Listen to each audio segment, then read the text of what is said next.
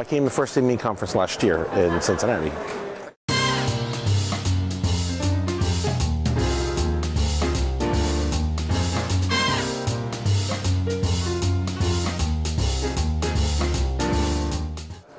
What we found as a value was the ability to see and talk with other other lean practitioners and how they're implementing lean in their operation. What worked and didn't work for them.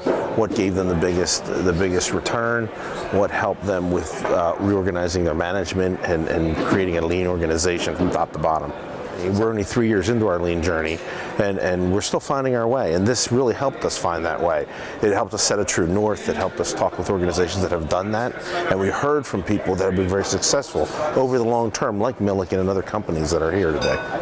At Turkey Hill, our, one of our big challenges is, is making our, our lean go from top to bottom in the organization through our management, getting our management to support the associates, getting the associates to see waste through the eye, through their eyes as the subject experts, and we're and this has really been a big plus on driving that initiative.